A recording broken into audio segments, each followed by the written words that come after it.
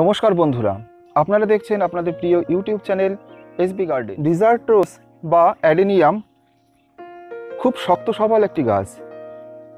খুব সহজেই বাঁচে, কিন্তু এমন সহজ নয় যে আমি নার্সারি থেকে কিনে আনলাম, যেমন তেমনভাবে পটে বসিয়ে দিলাম, গাছটি বেঁচে গেল, তা নয়।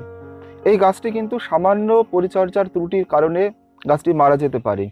তো নার্সারি থেকে কিনে নিয়ে আসার পরে এই গাছটি কীভাবে প্রতিস্থাপন করলে, কীভাবে পরিচর্যা করলে আপনার গাছটি বেঁচে থাকবে, তাই নিয়েই আজকে আমার এই ভিডিওটি। দেখেন, যারা নতুন বাগানি, তাদের ক্ষেত্রে এই অ্যাডেনিয়াম গাছটি নার্সারি থেকে আনার পরে পরিচর্যার কারণে কিন্তু বেশিরভাগ নতুন বাগানিদের গাছ কিন্তু বাঁচাতে পারে না, গাছটি কিন্তু মারা যায়। সামান্য কয়েকটি পয়েন্ট যদি আপনারা মনে রাখেন, তাহলে কিন্তু এই গাছটি খুব সহজেই বাঁচাতে পারবেন। আর যারা বিশেষজ্ঞ বাগানে আছেন, তারা বিভিন্নভাবে অ্যাডেনিয়াম গাছ করেন। তাদের কাছে ব্যাপারটা অনেকটা কিন্তু জল ভাতের মতো। সুতরাং আমাদের জানতে হবে যে, নার্সারি থেকে কিনে নিয়ে আসার পরে এই অ্যাডেনিয়াম গাছটি আমি কীভাবে প্রতিস্থাপন করব, কীভাবে পরিচর্যা করব? তো দেখতে থাকুন। সুবিধার জন্য আজকে আমার এই ভিডিওটি আমি দশটি স্টেপে ভাগ করেছি। তো স্টেপ নাম্বার ওয়ান আমি যখন এই গাছটি নার্সারি থেকে কিনে নিয়ে আসব, কিনে নিয়ে আসার পরে আমাদের প্রথম কাজ হবে বাড়ি এনে গাছটি সেমি শেডি জায়গায় রেখে ভালো করে ফাঙ্গিসাইড দিয়ে এই গাছটিকে ধুয়ে দেওয়া। তো স্যাপ ফ্যাঙ্গিসাইড হতে পারে বা এই ব্লাইটক্স ফিফটি বা ব্লু কপার যে কোনো একটি ফাঙ্গিসাইড এক গ্রাম পরিমাণ এক লিটার জলে নিয়ে গাছটিকে কিন্তু ভালো করে ধুয়ে দিতে হবে। ধুয়ে দিয়ে আমাদের গাছটি চার পাঁচ দিন সেমি শেডি জায়গায় রেখে দিতে হবে। তার কারণ বাড়ির পরিবেশে মানানোর জন্য কিছুটা সময় দিতে হবে। এবার আমাদের স্টেপ নাম্বার টু যে কাজটি করতে হবে, যেদিন আমি প্রতিস্থাপন করব, ঠিক সেই দিন আমাদের কি করতে হবে? এই যে গ্রো ব্যাগ বা পট যেটাতেই অ্যাডিনিয়াম গাছ থাকুক না কেন, সেটা থেকে আমাদের রুট বল সহ অ্যাডিনিয়াম গাছটিকে বের করে নিতে হবে। খুব গুরুত্বপূর্ণ ধাপ। মন দিয়ে দেখুন।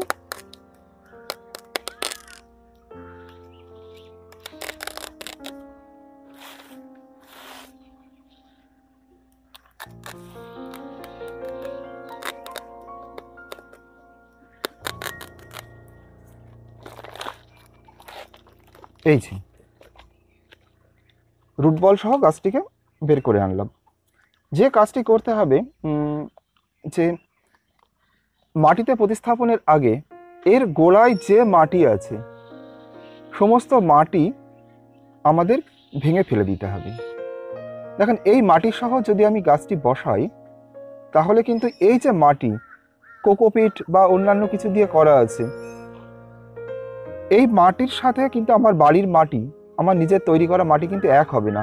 সুতরাং জলের তারতম্যর কারণে কিন্তু এই গাছটিকে আমি টিকিয়ে রাখতে পারব না। সুতরাং আমাদের নির্দ্বিধায় প্রথম যে কাজটি করতে হবে, সমস্ত মাটি ফেলে দিতে হবে। এই। এই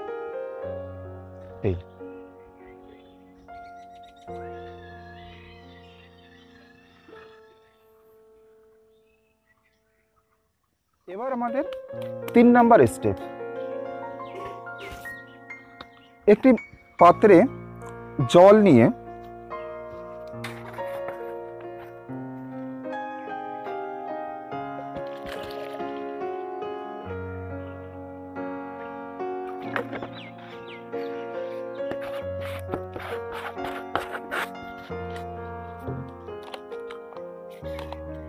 সেই জলের ভিতর হাফ চামচ পরিমাণ ফাঙ্গিসাইড সেটাই স্যাপ হতে পারে বা ব্লাইটক্স হতে পারে। আমি এখানে ব্লাইটক্স ব্যবহার করছি। মানে কপার ফাঙ্গিসাইড যেটাকে বলে। হাফ চামচ পরিমাণ কপার ফাঙ্গিসাইড ভালো করে গুলে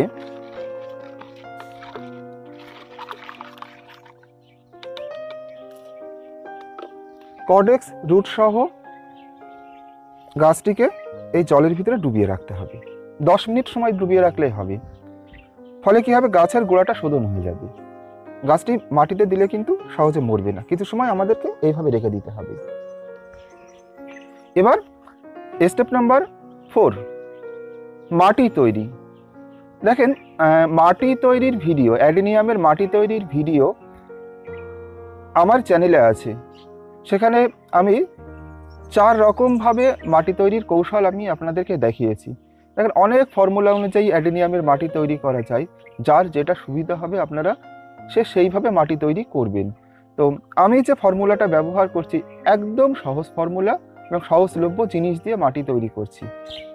আর মাটিটা এমন হবে, মাটি হবে ওয়েল ড্রেনেজ মানে জল ধরে রাখবে না। আর ওয়েল নিউট্রিয়েন্ট পুষ্টিগুণে ভরপুর হবে। এইরকম মাটি হলে অ্যাডিনিয়ামের ক্ষেত্রে খুবই ভালো হয়। তো মাটি তৈরি করার জন্য আমি যে উপাদানগুলি ব্যবহার করছি গার্ডেন সয়েল চার ভাগ। মানে যে পরিমাণ আমি গার্ডেন সয়েল নেব, তার অর্ধেক নেব মানে দুই ভাগ। অর্ধেক নেব কম্পোস্ট সেটি ভার্মি কম্পোস্ট হতে পারে বা লিপমোল্ড কম্পোস্ট হতে পারে বা কাউডাং কম্পোস্ট যদি কাউডাং কম্পোস্ট বা গোবর সার ব্যবহার করেন, সেটি অবশ্যই যেন এক বছরের পুরনো গোবর সার হয়। আর কি? যে পরিমাণ আমি কম্পোস্ট নেব, ঠিক তার অর্ধেক পরিমাণ মানে এক ভাগ, চার ভাগ, দুই ভাগ, এক ভাগ। বালি। বিল্ডিং তৈরি করার লাল বালি ভালো করে ধুয়ে নিতে হবে। ধুয়ে নেওয়ার পরে কিন্তু আমাদের এই অ্যাডিনিয়াম গাছ লাগানোর জন্য ব্যবহার করতে হবে। কারণ যদি বালিটা না ধুয়ে নিয়ে এই বালির ভিতরে অনেক নোংরা থাকে এবং বালিতে লবণ থাকে, গাছটিকে ক্ষতি করে দিতে পারে। আর কি? এর সাথে আমি মেশাবো, এই যে আমি উপাদানগুলো এখানে আলাদা আলাদা করে রেখেছি। হাড়গুলো এক চামচ পরিমাণ, শিংকুচি এক চামচ পরিমাণ, নিম খোল এক চামচ পরিমাণ, আর চুন দিয়েছি হাফ চামচ পরিমাণ। আর খুব ভালো ফুল পাওয়ার জন্য আপনারা মিশাতে পারেন, যদি সহজলভ্য হয়, রক্তসার হাফ চামচ পরিমাণ। এই উপাদানগুলো আর এই মাটির উপাদানগুলো একসাথে মিশিয়ে নিলেই কিন্তু আপনার মাটিটা তৈরি হয়ে যাবে। সব থেকে সহজ ফর্মুলা এই যে আমি মাটিটা তৈরি করে রেখেছি আগে থেকে।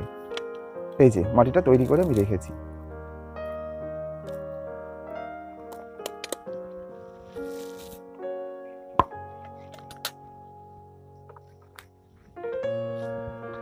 এবার আমাদের স্টেপ নাম্বার ফাইভ আমাদের পট নির্বাচন করতে হবে। কেমন সাইজের পটে আমরা গাছটি লাগাবো? সব সময় অগভীর টবে লাগানোর চেষ্টা করবেন। দেখেন আমার কাছে অগভীর টব ছিল না।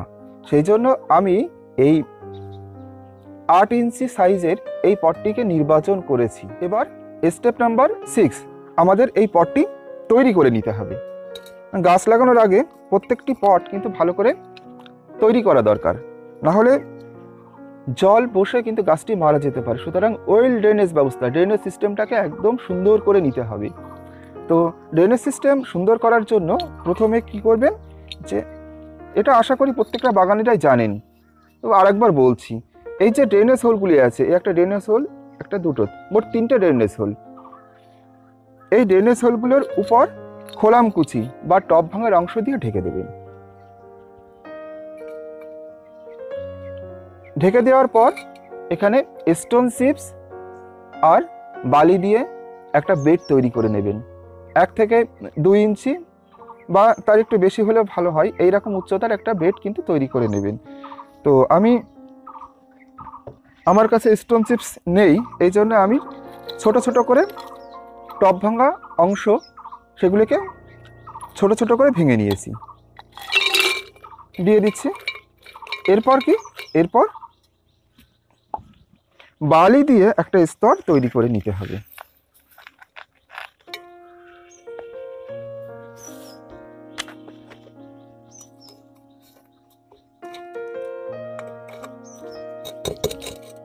বালি দিয়ে একটা স্তর তৈরি করে নিলেই কিন্তু আমার সুন্দর ড্রেনেজ ব্যবস্থা সম্পূর্ণ হবে।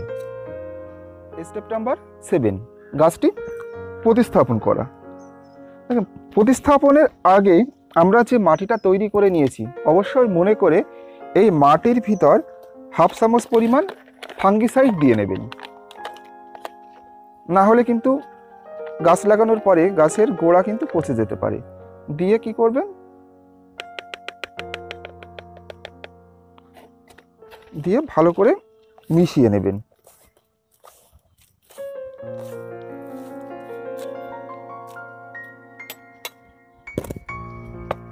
নিয়ে মাটিটা দিয়ে গাছটি প্রতিস্থাপন করতে হবে। আর প্রতিটা স্তর মাটি দেওয়ার সাথে সাথে মাটিটা কিন্তু একটু চেপে দিতে হবে। না হলে ভিতরে এয়ার পকেট তৈরি হয়ে ওখানে ওয়াটার লক করতে পারে। জল কিন্তু ওখানে জমে গাছটাকে ক্ষতি করতে পারে। এবার আমি গাছটি তুলে ফাঙ্গিসাইড ড্রোবন থেকে তুলে আমি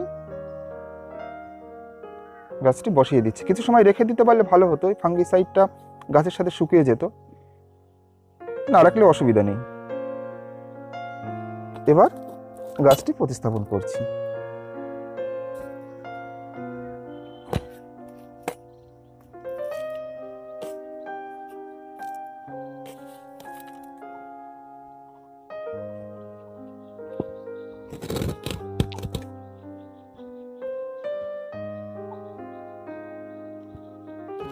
প্রতিস্থাপনের পর জল দেওয়ার আগে আমাদের যে কাজটি করতে হবে, এই গাছের গোড়ায় অল্প কিছু পরিমাণ ফাঙ্গিসাইড দিয়ে দিতে হবে। দিয়ে তারপরে কিন্তু ভরপুর জল দিয়ে দিতে হবে। ফাঙ্গিসাইড দেওয়ার পর আমাদের কিন্তু ভরপুর জল দিয়ে দিতে হবে।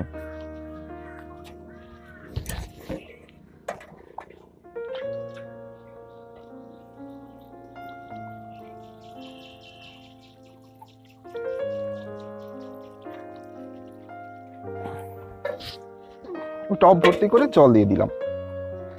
এবার আমাদের স্টেপ নাম্বার এইট এই গাছটি আমরা কোথায় রাখব? আজ আমি প্রতিস্থাপন করলাম, আজ থেকে দশ দিন পর্যন্ত আমি এই গাছটিকে কোনো সেমি শেডি জায়গায় রেখে দেব। আর দশ দিন পর থেকে এই গাছটিকে ভরপুর সানলাইটে রাখব, যেখানে সারাদিন বা দিনের বেশিরভাগ সময় সূর্য আলোক পায় বাগানের সেই রকম জায়গায় কিন্তু আমাদের গাছটি রেখে দিতে হবে। এবার আমাদের স্টেপ নাম্বার নাইন এই গাছটিতে আমরা কেমন পরিমাণ জল দেব?